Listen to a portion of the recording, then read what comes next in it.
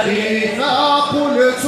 قادرك علي قائم ولا